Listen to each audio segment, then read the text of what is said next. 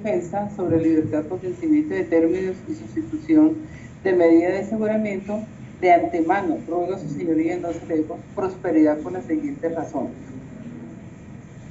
Respecto a esta solicitud, eh, señor juez, carece de peso jurídico y acervo probatorio, como quiera que la audiencia preparatoria se inicia el 21 de enero del presente año, la cual fue suspendida por la defensa arguyendo la búsqueda selectiva de pruebas y todas y cada una de las audiencias eh, han sido aplazadas siempre por la defensa, como consta en los audios eh, de las mismas, su señoría.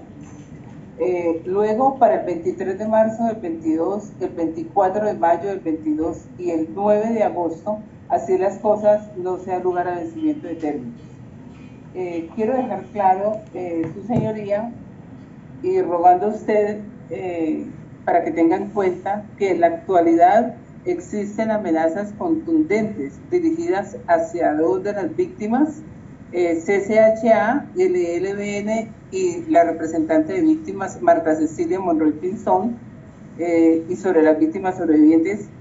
hechos que están siendo investigados por la Fiscalía 29 Seccional y Sexta Seccional de Ibagué bajo los radicados números 1100 160000 50202 y 1100 16 0000 99 2021 00339 respectivamente, su señoría.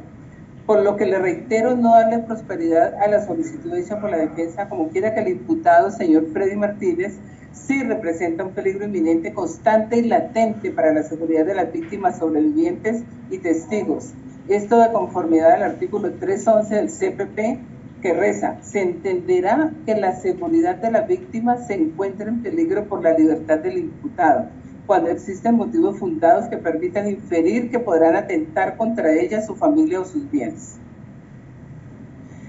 Pues su señoría, se vislumbra claramente que dichas amenazas son motivos fundados que nos permiten inferir que el aquí imputado podrá atentar contra las víctimas sobrevivientes, su familia, hijos o sus bienes, sin querer decir o afirmar con esto que las amenazas vienen de parte del señor Freddy Martínez o su grupo más cercano que tiene afín y que así lo ha demostrado. Eh, su señoría, eh, nosotros eh, argumentamos y sostenemos que no es viable la libertad por vencimiento de términos